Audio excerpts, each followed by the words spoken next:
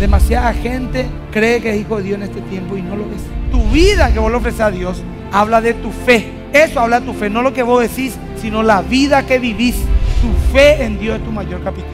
Dice, bienaventurado aquel que sin ver creyó. Porque cuando Dios quiere bendecirle a alguien, no importa que el mundo patalee, Dios le va a bendecir y punto. Más que vencedores, todos los domingos a las 17 horas por el 13, tu canal.